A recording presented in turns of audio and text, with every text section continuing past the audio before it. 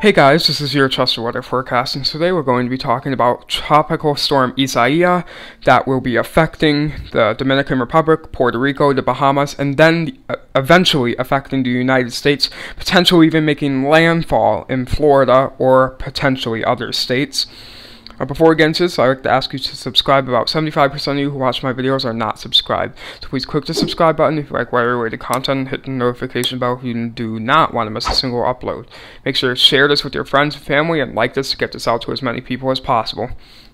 You can see here, um, it is not officially named Tropical Storm Isa Isaiah at this current moment is potential tropical cyclone 9. It just needs to get a little more organized before it can officially become a tropical storm.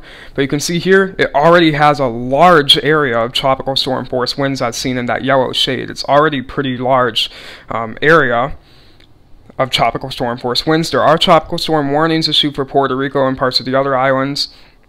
Um, this is not currently the National Hurricane Center does not expect this to become hur a hurricane. Um, I do not either, personally. However, I do think there's a very small chance that could reach Category 1 status.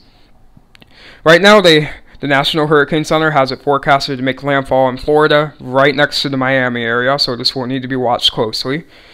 So let's get right into the models. Intensity guidance for upcoming tropical storm Isaiah has mo most models have it at tropical storm. It's going to be a tropical storm no matter what happens. It will be named. It will be the earliest I named storm. Uh, however, the question is, will it ever reach hurricane intensity? That is the main question, and if it does reach hurricane intensity, it will more than likely be a low end category 1. However, I do not currently anticipate it becoming a hurricane at this time. This is some of the potential paths it could take. Uh, this model actually has the hurricane far more east than the National Hurricane Center has forecasted not making landfall in Florida. Um, every single line is a different outcome that could possibly happen with this current model run. And right now it's slowly getting pushed more and more west. It's having a westerly trend, which means it's more than likely going to make landfall in the United States at some point in its lifetime. Looking at another model, this one is pretty much perfectly, that black line right there is pretty much perfectly in line with the National Hurricane Center has, except it shows it uh, curving back out into the ocean briefly before making a second landfall in South Carolina and then curving to the northeast. Um, this will be a very dangerous storm, I will say. It will likely cause lots of flooding and lots of damaging winds and wind damage.